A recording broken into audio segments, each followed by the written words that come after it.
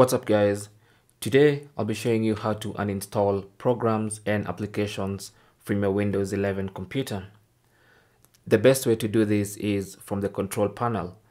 So click on the start button and then open the control panel. Simply type up here control panel and then click on the control panel results and that will open your control panel. Now here, go to programs and then click on uninstall a program. And this will list for you all the programs and applications that are installed on your Windows 11 computer.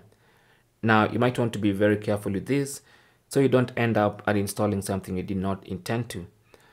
Now find the application you want to uninstall. For me, I want to uninstall, let's say, the Google Chrome browser.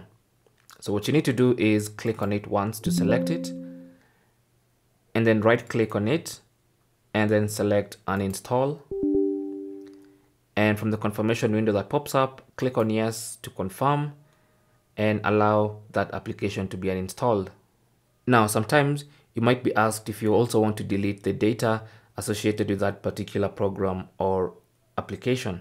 So if you want to delete that data check this checkbox. If you don't want to then you can leave it blank and then click on uninstall and wait now, more often than not, the application will find a way of telling you it's successfully uninstalled using a browser.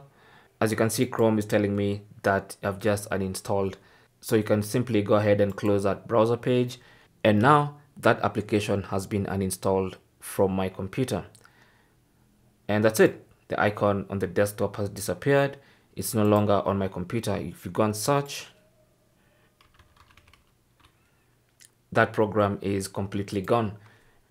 And that's how you can uninstall a program or an application from your Windows 11 computer. Thanks for watching.